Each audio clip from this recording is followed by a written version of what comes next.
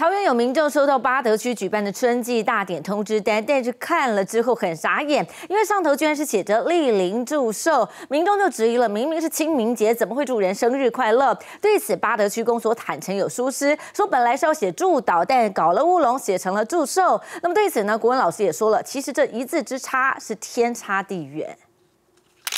桃园八德区这张春季大典通知单，民众怎么看？觉得怎么奇怪？来这个地方，他已经往生了，怎么会是来祝寿的？也难怪民众冒出黑人问号：清明节怎么祝人生日快乐？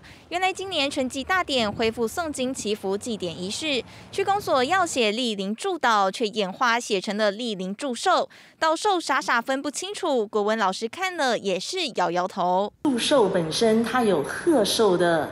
一种含义在，个人认为可能是祝祷会比较恰当。国文老师解释，差一个字，意思可是天差地远。